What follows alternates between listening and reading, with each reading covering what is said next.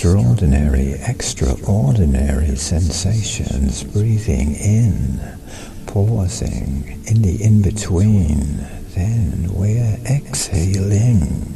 It's exciting day or night in the secret place we flee within imagination where we're always free and abounding all around us. Atoms spin and spin.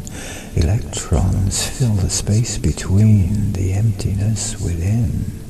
We're aroused in, we're arousing feelings which we feel when we see someone we love, oozing sex appeal.